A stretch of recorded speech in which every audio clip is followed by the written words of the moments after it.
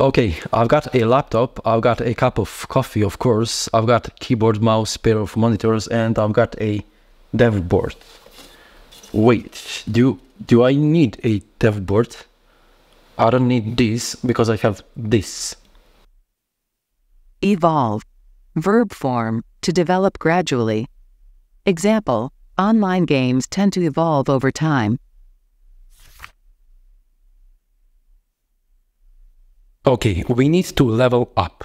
I will be teaching this design and this is my updated design. Eventually, I will transform this design into a solution you saw in the beginning of this episode.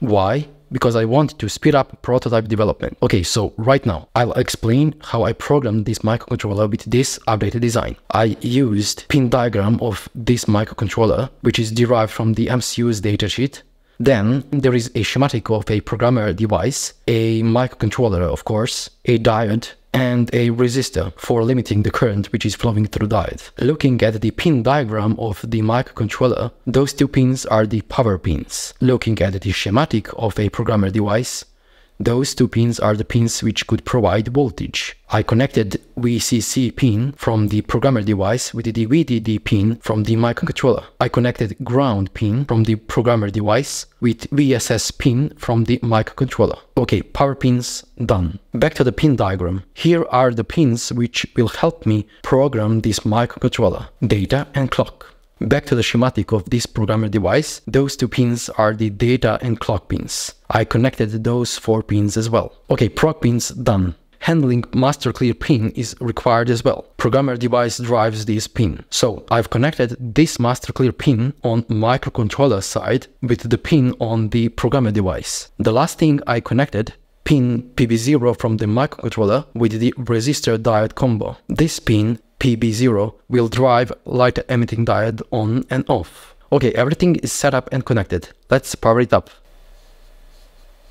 I'm gonna go and open CodeGrip Suite, which is an interface for my programmer device. I'm gonna make sure my computer machine and my operating system is perfectly connected with my programmer device. Nice. Then I need to power up a microcontroller. So I'm gonna go and select power and select voltage and finally enable it. The last thing I need to do, I'm gonna go and try to discover my microcontroller. That's neat. My programmer device, CodeGrip in this case, is connected with the PIC18F47K42.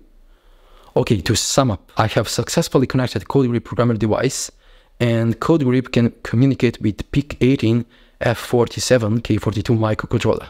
I'm gonna go and jump into Necto make sure my project is opened, check up once again that my setup is using proper programmer device, and program this simple LED blinking code.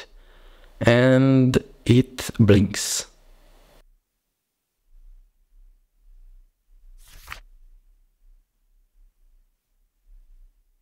Sometimes in the prototype development stage, not everything is going to go as you planned. I'm intentionally going to introduce a bug in this simple project by not allowing light emitting diode to blink. Okay, from 1 to 0. This would be our software bug. Make sure CodeGrip is properly connected, then start the debug process. I'm going to step over to while loop and we can see our bug in action. So basically, no voltage level is applied to the light emitting diode. Let's stop the debug process resolve the issue we introduced from 0 to 1, nice, and start the debug once again.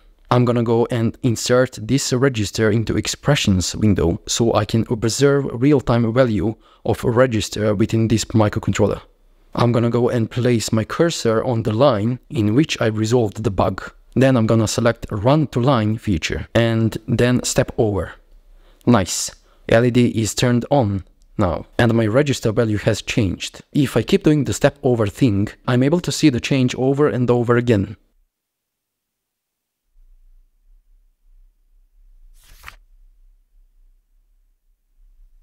Having programmer device, solderless breadboard and LED resistor combo as a separate solutions is generally good while doing prototypes, but having those four on one physical board, it looks even better to me. Looking at the manual of this dev board, I am supposedly able to program and to debug my microcontroller because it uses the same device, CodeGrip. I'm going to check this theory by jumping in Necto once again. Then I'm gonna go and create a new setup for this project because I do not want to modify my current setup anymore. I want to create a new one. So by clicking on active setup, I'm going to select new, then compiler should be mikroC advanced integration not the artificial intelligence, not yet. For PIC, then next, board should be EasyPIC version 8, then MCU should be pick 18 F47K42, then click next. I'm not going to use any display right now, then I'm going to make sure my dev board is connected with my computer machine via USB-C cable. And I can observe EasyPIC version 8 board is successfully connected. I'm going to intentionally disconnect my dev board from my computer machine, then click back, then click next once again, and I can observe no selected board message, which is totally fine. I'm going to connect my dev board to my PC, then I'm going to click scan and look for the USB sign. Here it is, nice. Then click save. And finally, finish rename my setup to something meaningful, and click choose. And finally, flash my code once again. Beautiful.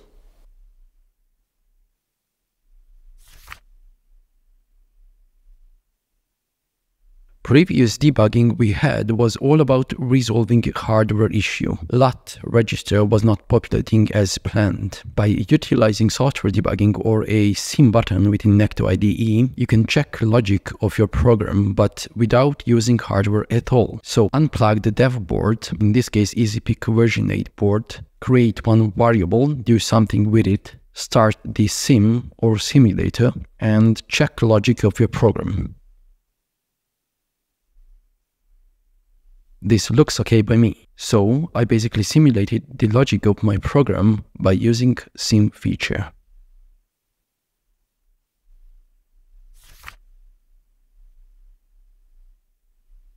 Could I optimize development of my embedded prototype once more, just once more, because this mini series is all about students. I think everything should be free of charge. To articulate this a little bit better, if I want to start developing in embedded world, software should be free of charge. Okay? Hmm. Okay, okay.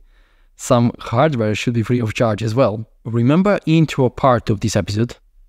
Yep, this is it. Program and debug embedded hardware from your home free of charge. Here are the steps to get you started. You click here to get to the Planet Debug feature. Then you pick one of the predefined hardware setups. In our case, we used PIC microcontroller for this episode and for the previous episode as well. Then click go. Active setup had been automatically changed. That's neat. And you don't have to bother about configuring it. Okay guys, this is live. It's just as if dev board is at your school desk. I will flash this code once again and the result will pop up. Okay, lovely. You can test it by yourself and give me an honest feedback. In the part 1 of this student series, I talked about speeding up a embedded product development process. Well, not quite my tempo. I will be speeding things up even more, so I hope I'll see you on the next episode. Until then, write down your idea, prepare for execution, and finally execute. My name is Branko and thanks for watching.